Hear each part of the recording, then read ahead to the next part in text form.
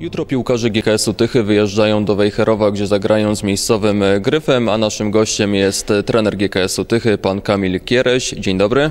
Dzień dobry. Panie trenerze, jak na razie bardzo udana runda wiosenna w wykonaniu GKS-u Tychy. Zero przegranych i tylko dwie stracone bramki napawają dużym optymizmem przed kolejnym spotkaniem. No tak, ten y, bagaż punktowy, y, który jest y, zdobyty, no jest, jest imponujący, tak? bo, bo jest to na pewno najlepszy wynik wiosny, jeżeli chodzi o stawkę drugoligową. To, co Pan mówi, mała strata, ilość bramek. To też jest taki ważny aspekt, ale chyba najważniejszy ten, że zaczęliśmy zdobywać bramki, które, które pozwalają zdobywać punkty, które pozwalają zwyciężać. Na pewno te 15 punktów zdobytych w siedmiu spotkaniach to też jest jakość piłkarska, ale też są y, powiedzmy mankamenty, tak, które y, też wyłapujemy, nad którymi pracujemy, y, staramy się dążyć do perfekcji, staramy się wypracować lepszy styl. Wiadomo, że to do tego długa droga, tak, ale, ale cały czas nad tym pracujemy. Tylko punkt straty do miejsca premiowanego awansem bezpośrednio. Coraz częściej spogląda Pan w tabelę, czy jednak skupia się Pan tylko i wyłącznie na kolejnych spotkaniach? Y, przed sezonem, jeżeli spoglądaliśmy na tabelę y, ligową, to, to generalnie można było tam powiedzmy sobie naliczać te punkty, ile brakuje, ale ja do zawodników już u startu sezonu mówiłem, że naszą siłą jest przede wszystkim spoglądanie na to, że w każdym meczu do zdobycia są trzy punkty. Jeżeli będziemy systematycznie te punkty zdobywać, to sytuacja w tabeli poprawi się bez spoglądania na nią. Także tak do tej pory bynajmniej to traktowaliśmy i wydaje mi się, że w tych meczach, które zostały do końca sezonu chyba trzeba skupić się tak samo, że, że te trzy punkty to jest wartość danego danego meczu, przygotowywać się do tego spotkania i jeżeli będziemy punktować tak do tej pory, to chyba to, to, to jestem przekonany, że osiągniemy cel. Ważnym spotkaniem była na pewno wygrana z Rakowem, tak jak, on, tak jak Pan powiedział, dała drużynie takiego mentalnego kopa, ale te kolejne spotkanie wbrew pozorom było bardzo trudne, no bo kiedy wygrywa się tak dużą różnicą bramek, trudno później w kolejnym spotkaniu zaspokoić oczekiwania kibiców.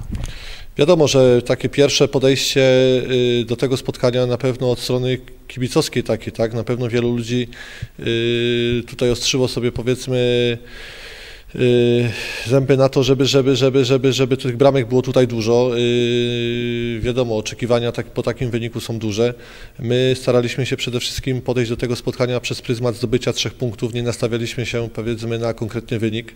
Zdawaliśmy sobie, sobie sprawę z tego, że, że powiedzmy po takim spotkaniu y, te oczekiwania będą duże i to spotkanie nie będzie dla nas na pewno łatwe.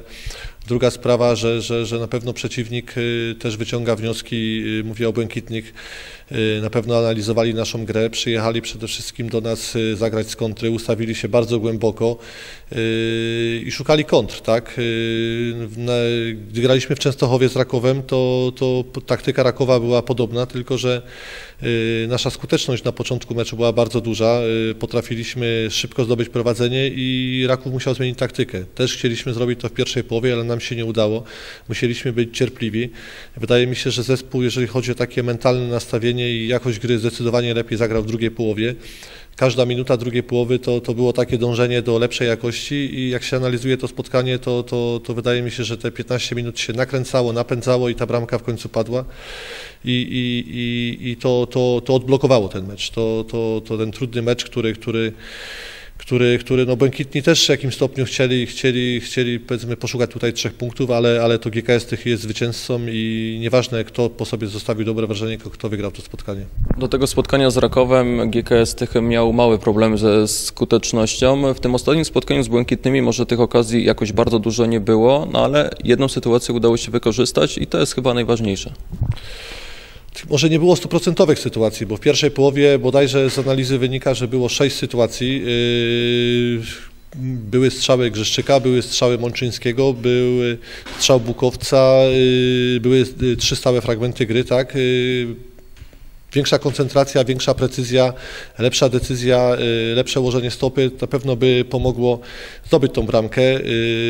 Wszystko to w trudnych warunkach, bo przeciwnik skoncentrowany, cofnięty, zdyscyplinowany ale po przerwie troszkę właśnie zmieniliśmy układ gry, właśnie cofnęliśmy się bardziej yy, na własną połowę, stworzyliśmy sobie właśnie szansę za plecami przeciwnika i to było skuteczne.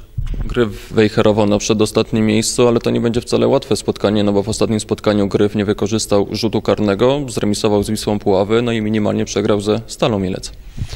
Nie podchodziłbym do, do drużyn z pozycji y, miejsca w tabeli.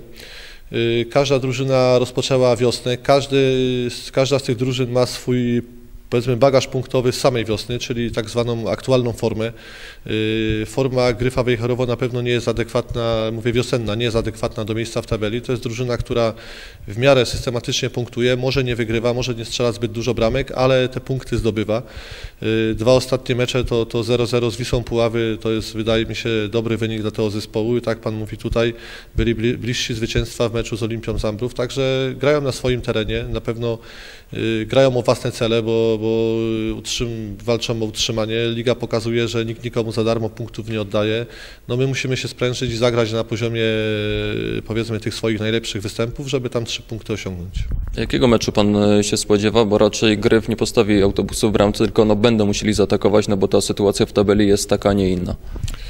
Znaczy nie da do końca się do końca przewidzieć e, przebiegu wy, wydarzeń, tak?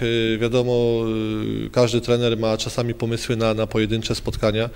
E, Przede wszystkim spodziewam się trudnego meczu, tak? Na pewno, na pewno e, drużyna Gryfa z pozycji jesieni zmieniła to, że, że jest drużyną, która traci mniej bramek, tak? Czyli, czyli przede wszystkim e, musimy być dużo bardziej skuteczniejsi w aktach ofensywnych i bardziej, bardziej precyzyjni właśnie w tych sytuacjach, które stworzymy. I przede wszystkim zachować, zachować układ gry defensywnej, nie tracić bramek, bo to zawsze, zawsze jest pułap do tego, że, żeby o tą jedną bramkę od przeciwnika więcej strzelić. Dziękuję za rozmowę. Dziękuję.